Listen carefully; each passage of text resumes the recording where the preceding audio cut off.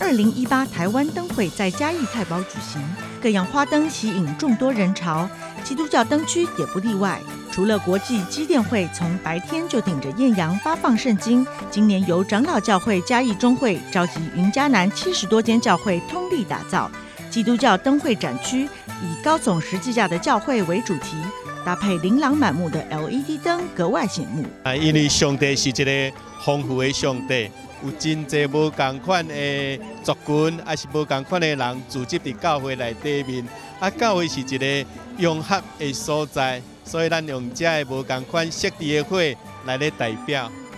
配合华人节期传福音，主舞台区午晚间时段都由各教会自发性安排，轮流传递福音信息，借由灯会区的服饰，一起投入福音撒种的行动。让乡亲有机会听闻福音。呃，每一个教会，不管是在呃花灯的配置，这些各教会提供他们的呃想法、构思、设计，或是在节目的安排上面，在日期的安排配置上面，大家都能够同心协力来这一次福音的施工上面。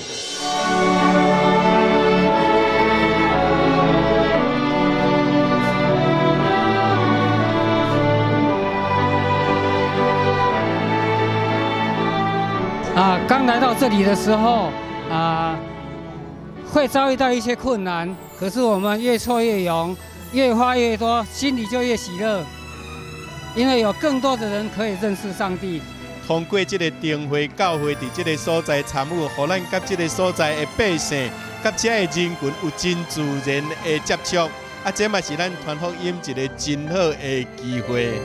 嘉义灯会主灯将于三月二号元宵节当日点灯。展期也到三月十一号，欢迎乡亲朋友一起到教会灯区听诗歌、赏灯，也领受上帝的祝福。